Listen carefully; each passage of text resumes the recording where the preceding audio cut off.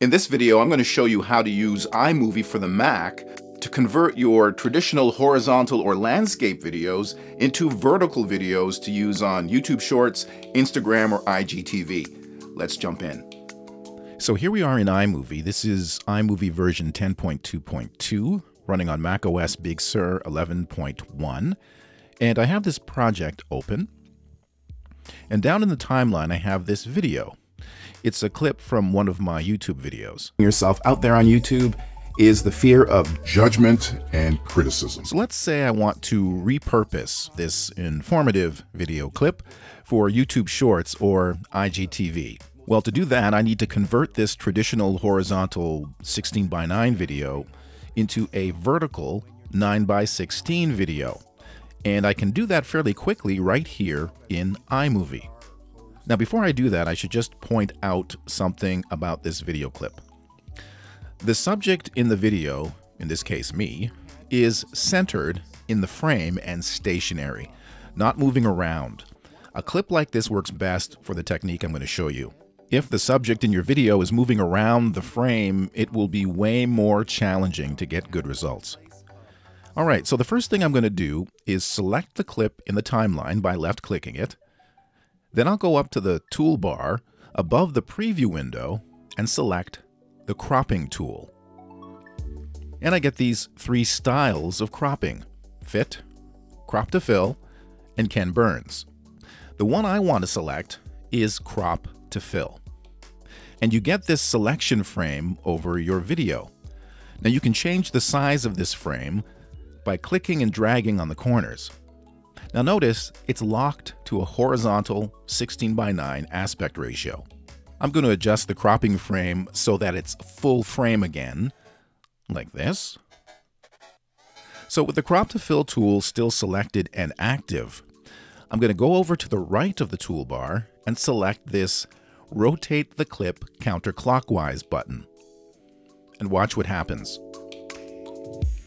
My video has been rotated into a vertical 9 by 16 orientation but my crop to fill selection frame is still horizontal 16 by 9, but it's shrunk down to fit into my vertical video.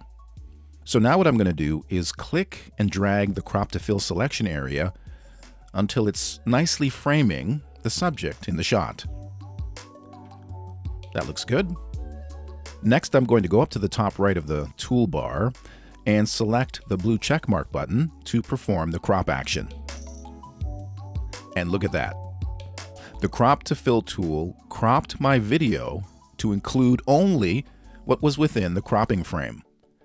That cropped area was then zoomed up so that it fills the entire frame of the project. But the video is still horizontal. We need it to be vertical. So to do that, I'm first going to export my video out of iMovie. So I'm going to go up to the top right corner of the interface and select the Share button and from the pop-out menu, select Export File. And up pops the Export File menu. I'll leave format set to video and audio. Uh, for resolution, I'm going to set it to 1080p because my original video was 1080p, which means 1080p is the maximum resolution I can export. For quality, I'll select high. That will export a high quality .mp4 video file, which has the broadest compatibility with all the different online platforms, which is what I want.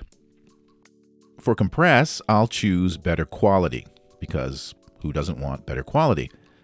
You get a more careful compression process with better quality, which takes a bit more time. I'll go down and select Next. I'll select a location for the exported file. I'll leave this file name then hit Save. And iMovie exports my horizontal video. All right, for the next step in the process, I'm going to locate my file. And here it is on the desktop. I'm going to left click to select it. And then I'm going to hit the space bar to preview my video in Quick Look. So here's the horizontal video I exported out of iMovie. I'm now going to convert it into a vertical video with the click of a button. I'll go up to the top right of the Quick Look interface and hover my mouse over this rotate button. Now right now the arrow on the rotate button says it's going to rotate whatever's in the quick look window counterclockwise. Now I could click on this rotate button three times to orient my video correctly, but if I hold down the option key, the arrow points clockwise. So while holding down the option key, I'll select the rotate button and my horizontal video flips clockwise to become a vertical video. And that's it. Using Quick Look to rotate your video is not only fast, you don't have to re-export it after the rotation like you have to when you use QuickTime Player to rotate the video, which means there's little to no quality loss after the rotation. It's not being recompressed. Now, the thumbnail image of the video on the desktop and in the Finder still shows the original orientation of my video file, which was horizontal. So just keep that in mind so you're not confused. You may want to rename the file to remind you that it is, in fact, a vertical video. But if you click on the file in the Finder, the preview shows it's a vertical video, and so does the information for the video file. If you go down here, you'll see dimensions are 1080 by 1920. That's a vertical video. Now, if I open the file in Quick Look again by hitting the spacebar, you'll notice the video is a little soft, it's a little blurry. And that's because my original video was 1080p, and when I cropped it, the pixels were blown up in order to fill the frame, which made the video a little blurry. Now, if my original video in iMovie had been 4K, and after cropping I exported out of iMovie as 1080p, the quality would be better. Having said that, the majority of the time, vertical videos are viewed on a small smartphone screen, making the quality loss not as noticeable. Besides, your viewers are really there for your compelling content, right? So when you're done creating your vertical video on your Mac, you can simply airdrop it to your iPhone or iPad and then upload it to Instagram or IGTV from there. Or you can upload your vertical video from your Mac directly to YouTube where you can create a YouTube short.